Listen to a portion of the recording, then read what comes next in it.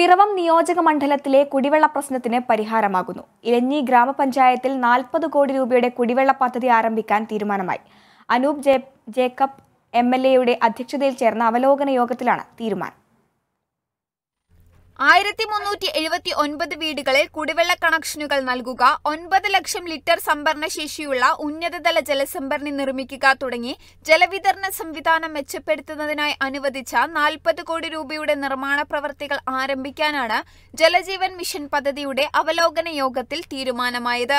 രണ്ട് പഞ്ചായത്തുകളിൽ നിർമ്മാണ പ്രവർത്തനം ആരംഭിക്കുകയാണ്. ഇലഞ്ഞി പഞ്ചായത്തിലും തിരുമാറാടി പഞ്ചായത്തിലും. ഈ രണ്ട് പഞ്ചായത്തുകൾ ജലജീവൻ മിഷൻ പദ്ധതിയുടെ ഭാഗമായിട്ടുള്ള കുടിവെള്ള വിതരണ പൈപ്പുകൾ സ്ഥാപിക്കാൻ തുടങ്ങിയാണ്.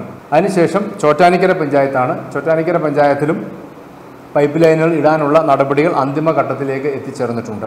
ബാക്കി വരുന്ന പഞ്ചായത്തുകൾ അതായത് രാമമംഗലം പാമ്പാക്കട ആമ്പല്ലൂര് മണിയിട മുളന്തുരുത്തി എടക്കാട്ടുവേൽ എന്നീ പഞ്ചായത്തുകളിലെ സ്റ്റേജുകൾ അതിന്റെ പൈപ്പ് ലൈന് വേണ്ടിയുള്ള പൈപ്പ് ലൈൻ ഇടാനായിട്ടുള്ള നടപടികളിലേക്ക് നീങ്ങുകയാണ്. യോഗത്തിൽ അനൂപ് ജേക്കബ് എം അധ്യക്ഷനായിരുന്നു.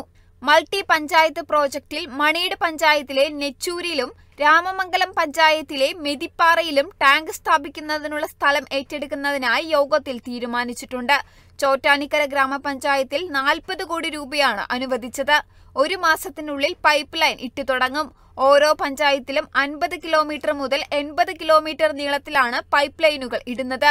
അഞ്ച് കിലോമീറ്റർ മുതൽ പത്ത് കിലോമീറ്റർ വരെയുള്ള പൈപ്പ് ലൈൻ ഇട്ടതിന് ശേഷം അത്രയും ഭാഗത്തെ റോഡിന്റെ പുനരുദ്ധാരണ പ്രവർത്തികൾ പൂർത്തിയാക്കിയതിനു ശേഷം മാത്രമാവും അടുത്ത അഞ്ചു മുതൽ പത്ത് കിലോമീറ്റർ ഭാഗത്തെ പൈപ്പ് ലൈനുകൾ ഇട്ടാൽ മതി എന്നാണ് എം നിർദ്ദേശം നൽകിയിട്ടുള്ളത്. Kerala vision news Kochi.